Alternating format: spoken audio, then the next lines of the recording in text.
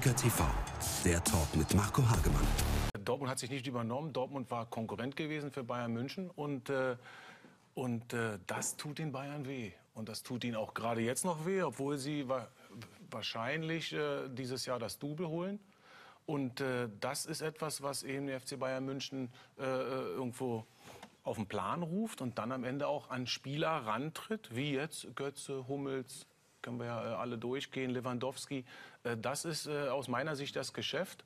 Und, ähm, aber ich nehme das gerne hin, weil es ging um viel Geld und genau darum sitzen wir heute hier. Und wenn eben Mats Hummels dieses Angebot bekommt vom FC Bayern München, dann glauben Sie doch nicht, dass Mats Hummel jetzt da weniger verdient als in Dortmund. Also wir sind doch an einem Punkt, wo wir alle auch äh, die Medien äh, wissen müssen, dass dort so viel Geld fließt, dass in Bayern München eben auch nach wie vor Borussia Dortmund jeden Spieler wegholen kann. Aus finanzieller Sicht. Und das spielt immer eine Rolle.